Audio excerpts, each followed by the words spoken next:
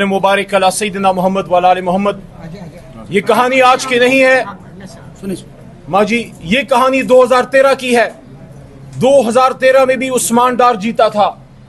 और जब इमरान खान साहब ने दो इमरान खान साहब ने जब चार हलकों की बात की तो इसलिए की थी कि आइंदा से कभी कोई इलेक्शन ना चोरी करे। लेकिन किसी ने उस पर गौर नहीं किया। इस इलेक्शन से पहले मैंने बारहा ये बात की कि ये इलेक्शन आपको एक मौका दे रहा है कि पाकिस्तान को आप एक नई सुबह दें।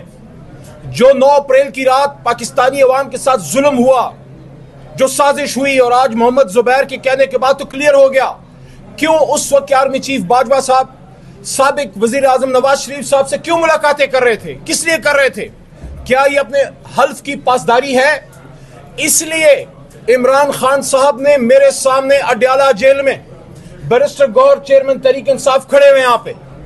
दो बार ये बात इमरान खान ने की है। एक बार पहले जब मैं उनसे मिला, महीना पहले, और एक बार ईद से पहले, आखिरी मुलाकात मेरी और बैरिस्टर साहब की जब हुई, इमरान खान साहब ने कहा कि हमारी एक सौ चौरासी तीन की पिटिशन सुप्रीम कोर्ट में पड़ी है। सुप्रीम कोर्ट के चीफ जस्टिस साहब को चाहिए कि इलेक्शन पे जो डाका पड़ा है, जो आज ये फॉर्म 45 के हमारे एमएनए आए हुए हैं ये कितने शर्म की बात है?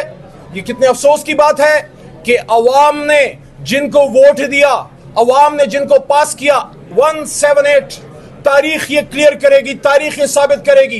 ये लफ्ज जहन में याद रखें, एक सौ अठहत्तर हमारी सीटें हैं कम अज कम। सत्रह सीटें हैं मियाँ नवाज़ शरीफ साहब की जमात की, जिसमें मियाँ साहब खुद हार चुके हैं, जिसमें उनके भाई शहबाज शरीफ हार चुके हैं, जिसमें उनकी बेटी मरियम नवाज़ बीबी हार चुकी हैं, एहतराम अपनी जगह। लेकिन हकीकत हकीकत है। आज हम ये डिमांड करते हैं कि वो लोग जिनको अवाम ने वोट दिया, वो आज भी सड़कों पे हैं।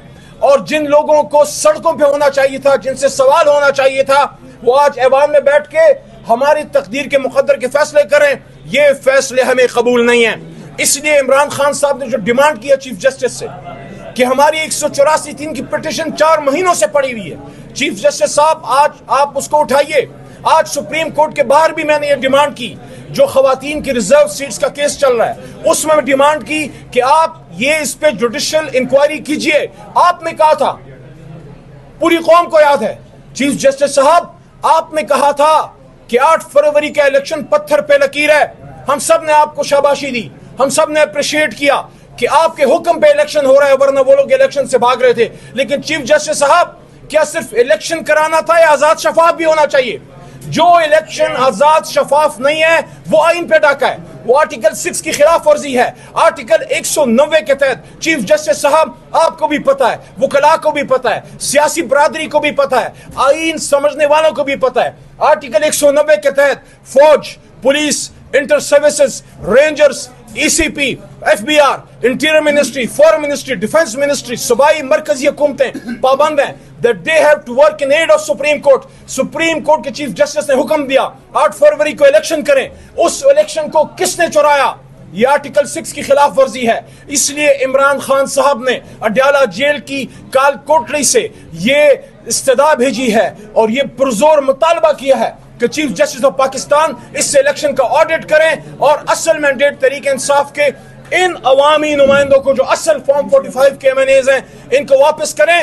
आखिरी बात जब ये असल एम आएँगे और जब असल वज़ीर आज़म बैठेगा उसके बाद जो बजट आएगा वो अवामी बजट होगा फिर फलस्तीन पे भी आवाज़ आएगी कश्मीर पे भी आवाज़ आएगी और जहाँ तक ऑपरेशन का ताल्लुक है कोई ऑपरेशन जो खैबर पख्तूनख्वा अवाम को काबिल कबूल नहीं वज़ीर अला खैबर पख्तूनख्वा ने कोई उसको ना सपोर्ट करना है ना उन्हें इजाज़त दी है।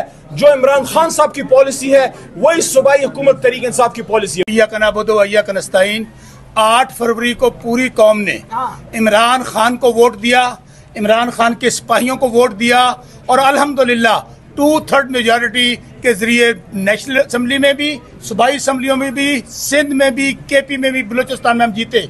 लेकिन फॉर्म 47 के ज़रिए हमें हरा दिया गया। ये हमें नहीं हराया गया, पूरी कौम को कीड़े मकोड़े समझा गया। आज हम सब लोग फॉर्म 45 वाले 170 के करीब एम एन पी सब हम लोग आज नेशनल असम्बली आए हैं और इस बात का अदा करने आए हैं, जब तक ये इमरान खान का मैंडेट कौम का मैंडेट वापस नहीं मिलेगा, हम खून के आखिरी कतरे तक इसकी जद्दोजहद करेंगे। और हम और हम अपने और हम अपने मुखालफिन हम अपने मुखालफिन को चैलेंज देते हैं। जो यहाँ पर तिहत्तर लोग एमएनए बैठे हैं, जो जाली एमएनए हैं, मैं इजाजुल्ला की, वालद की कब्र पे गया था, वो यहाँ इसी आपके मीडिया के सामने आके पुराने पाक पे हलफ दे दे, हम अपनी पिटिशन वापस ले लेंगे। या हम सब लोग पुराने पाक पे हलफ दे चुके हैं कि ये सब लोग भगौड़े हैं, ये हारे हुए हैं, इनको लोग जेलों में देखना चाहते हैं और इंशाल्लाह उमर अयूब साहब हमारे बैरिस्टर गौहर साहब और पूरी पार्लिमानी पार्टी आज पार्लिमानी पार्टी मुकम्मल हुई है। इसके बाद हम असेंबली में जाएँगे और इंशाल्लाह उमर गौर साहब और उमर यूब साहब की क्यादत में हमारी पार्लिमानी पार्टी असल पार्लिमानी पार्टी का इजलास होगा।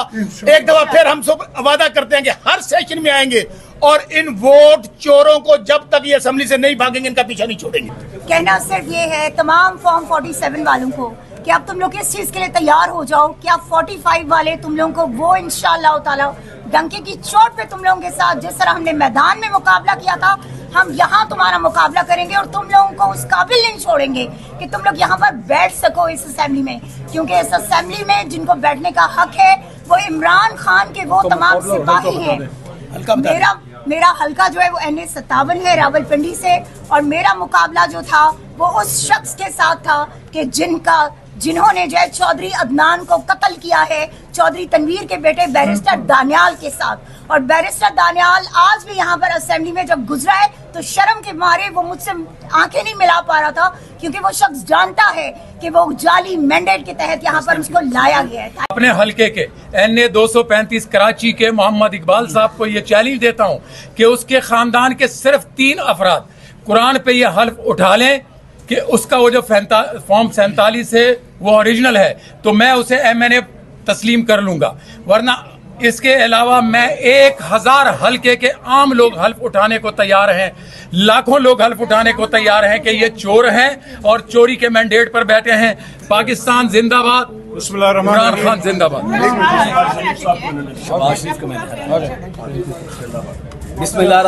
ये हमारे वो मुजाहिद हैं जिन्होंने शबाज शरीफ को हराया। एन ए एक सौ तेईस। मैंने नहीं हराया। इमरान खान ने जेल में बैठे हुए शख्स ने हराया। अवाम ने उसको हराया जो चोर यहाँ बैठा हुआ है जो वज़ीर आज़म बना हुआ है इस वक्त शबाज शरीफ।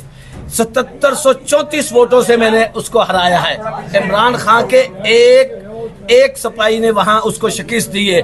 मेरी पटिशन जो सी है अपील सुप्रीम कोर्ट में पेंडिंग है। मैं यहाँ कहता हूँ शबाज शरीफ असेंबली में आके कह दे हल्फ दे दे ऑन ओथ कि उसके पास 47 असली हैं। 47 का वो सिलेक्ट हुआ है। मैं रिजाइन कर दूँगा मैं पार्टी में कभी नहीं हुआ। और वो इंशाल्लाह ताला हारा हुआ है। इसको यहाँ से खाली हाथ वापस भिजवाऊँगा एक मिनट के लिए हमारी बहन एक मिनट के लिए हमारी बहन।